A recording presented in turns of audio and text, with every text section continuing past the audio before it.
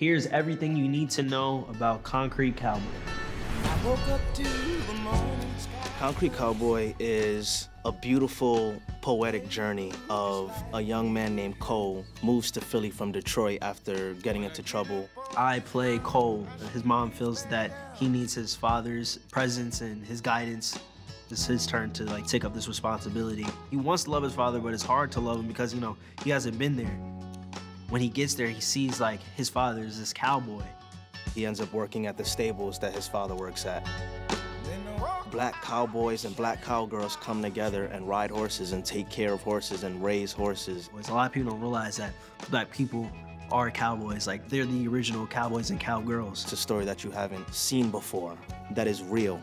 It's not made up, it's not fictional, and it's not designed, it's, it's real. But then Smush pulls up because, you know, he's like, yo, is that my cousin? Like, I haven't seen him like years. And Cole looks up to him so much because like Smush is like a way out. Everyone else has been like treating him like he didn't matter. Their storyline is so unique because Cole, he's always felt like he was a burden in everyone's life. He was never in the plan. Smush has always put him in the plan. He's taking him in, he's feeding him, he's clothing him.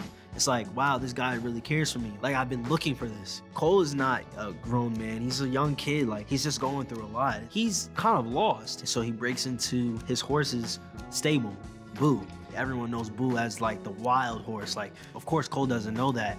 Boo, the horse, get feels a connection with him. Everyone's like, no, you're the only one that could take care of him. The horse and Cole go through like a journey of just, you know, taking care of each other. Like as Cole's feeding him, the horses take care of him and his heart. You see that these horses changed their lives, changed the neighborhood's lives. It's like a spiritual thing. You see him connect with himself, finding himself and finding what his purpose is in life. This story is just different.